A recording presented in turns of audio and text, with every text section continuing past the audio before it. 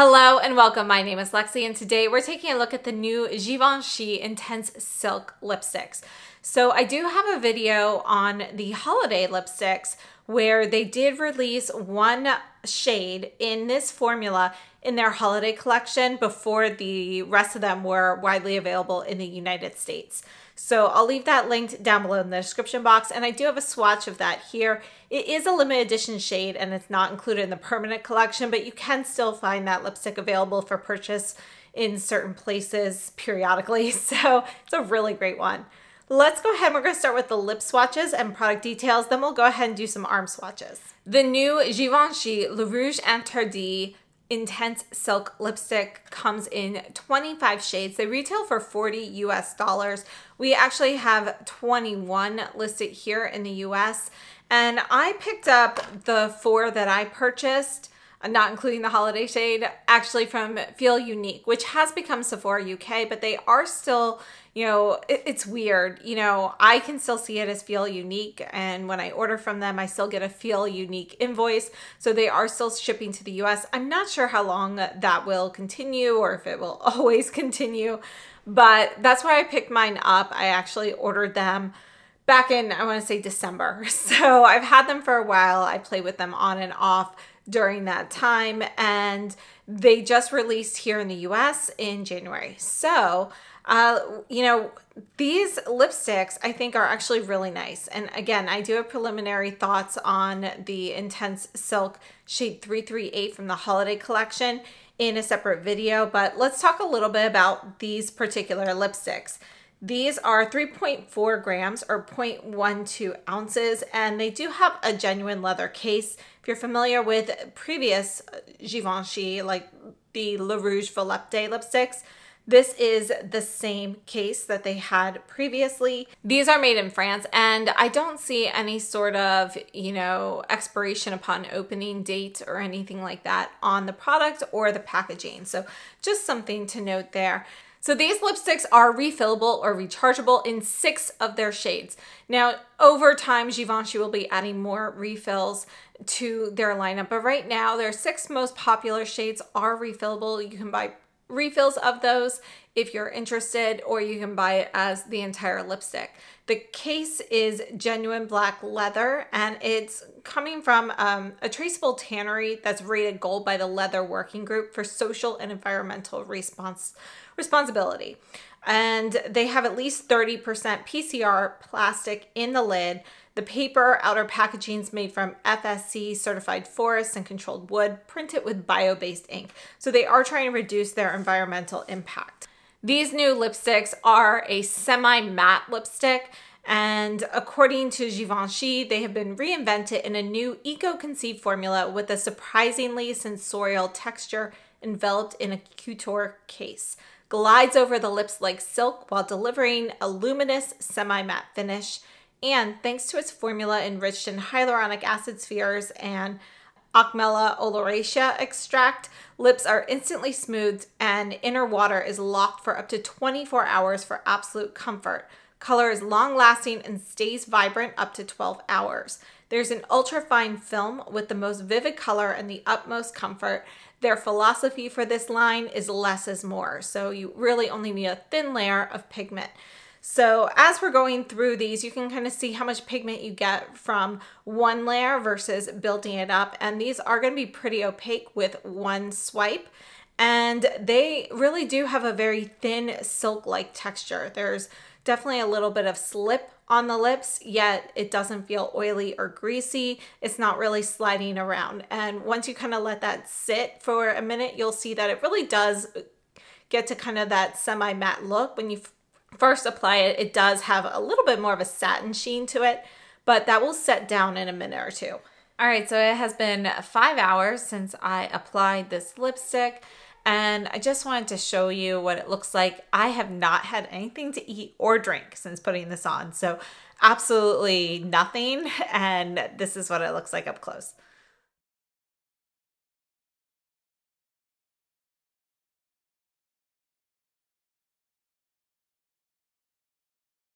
So you can see that the pigmentation has held up really well. There is a a little bit, I'm not even sure if you can tell on camera, but there's a little bit of fading in the center of my lips, you know, obviously from talking and so forth, but you know, really nothing major. But again, this is without eating or drinking. And you can imagine with the eating and drinking, there's definitely gonna be significant fading. At this point, I would have to reapply if that were the case. So. Now, compared to the previous version of these, I do think that these have a little bit more of a satin matte finish. The others were really more of a satin cream texture. And with certain shades, they were definitely a little bit of a heavier, thicker formulation. This is definitely to be thinner, more lightweight on the lips. Now, regarding its claims of staying vibrant up to 12 hours, you know, I have not experienced them lasting that well. Perhaps some of the deeper, more bright colors, uh, you know, leave a little bit more pigmentation on the lips for up to 12 hours. But the four that I picked up really don't last that long. These are going to last like a traditional satin lipstick for the most part. You'll still have a little bit of pigment remaining after four to five hours, you know, if you're doing things like eating and drinking. If you're not doing any of those, it can last.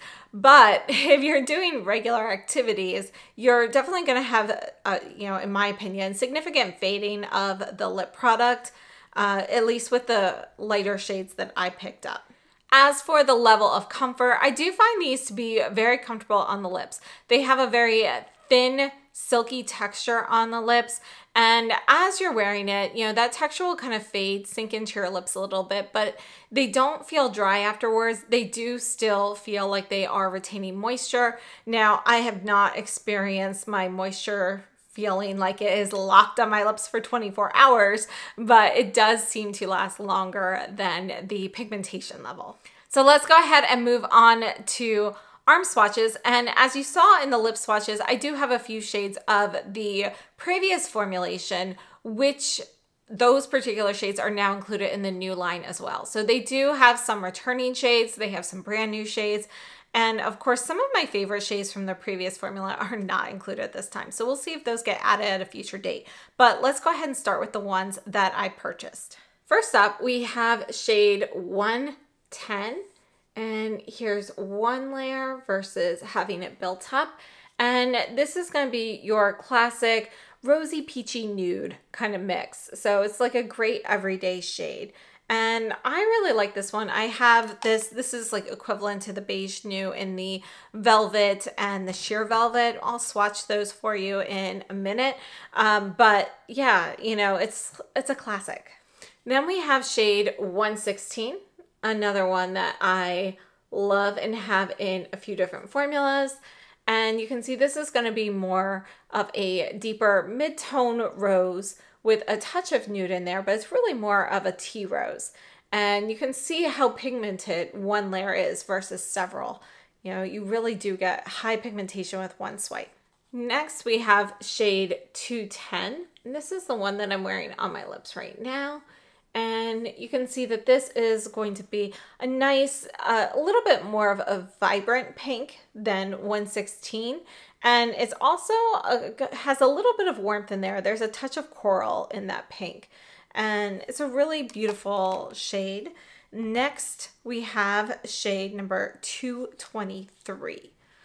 And this is a nice, vibrant pink. And you can see this is going to be cooler in tone than the other ones that I picked up. Now, before we move on to additional swatches, I do want to address my biggest complaint of these. So as I mentioned, there are certain shades that are refillable.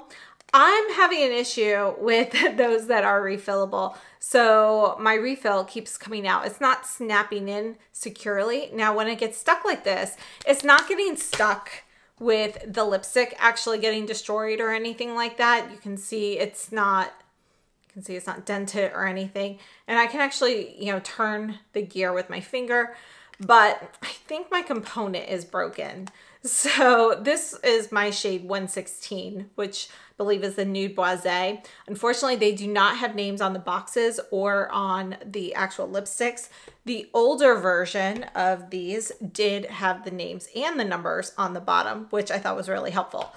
So my problem is the refillable packaging. I think they really need to go back and redesign those. So I have a couple of them with loose refills. This is the only one that's really not snapping in. The other one, I was able to kind of snap that in and I haven't had issues with it.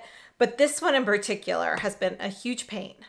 Now, this is the holiday lipstick that was limited edition 338 and I absolutely love this shade. So out of all of these that I picked up, actually my favorite is this 338, but I'll, I know I'll be wearing these lighter shades like all the time. They're great like everyday shades, but this is just such a beautiful pop. Now the two that I have that are from the previous formula in returning shades, we have 304 Mandarine Bolero, and you can see going on that the texture of this is just a little bit creamier and it it's still going to be uh, highly pigmented with one swipe, but it does have a different texture on the lips. It feels more like a satin cream. And then we have 306 Carmin Escarpin. And this is a bit more of a fiery red. So there is a touch of orange in this red. Really beautiful shade. So these two are in the old formula swatched here, but they are shades that are now in the Intense Silk line. So these are the La Rouge Sheer Velvets. I want to show you shade number 10, Beige Nu, and how that compares. I love this formula. And these are equivalent shades, just in different formulas. So you can kind of see how uh, close they are. You can see in the Intense Silk, you can see a little bit more pink in there, whereas this definitely has a bit more brown. We also have it in the Deep Velvet. Again, this is shade 10 Beige Nu. And yeah, it's really pretty. But I do think that this one is slightly cooler in the Deep Velvet than it is in the Intense Silk. It's got a little bit more peach in the Intense Silk version. And the Sheer Velvet in number 16, Nude Boise. Let's put that one right here. And you can see that that color is going to be pretty close, you know, really not much of a difference between the formulas. It's really just going to be about your finish.